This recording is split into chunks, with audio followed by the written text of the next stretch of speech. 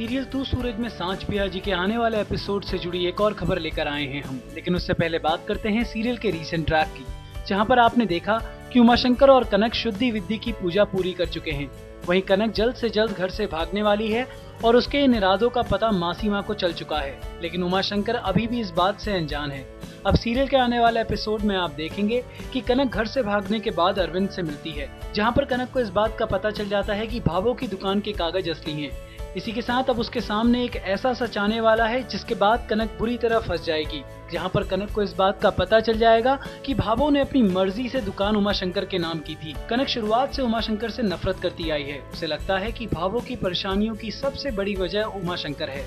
लेकिन जहाँ घर से भागने के बाद ये बात उसके सामने आ गई कि उमा शंकर की कोई भी गलती नहीं थी। अब ये देखना बेहद दिलचस्प होगा कि इस परेशानी से कनक कैसे बाहर आती है। इसी के साथ टीवी और बॉलीवुड से जुड़ी सारी लेटेस्ट अपडेट जानने के लिए सब्सक्राइब करना ना भूलें हमारा channel top news just for you. Top news से रोहित की रिपोर्ट।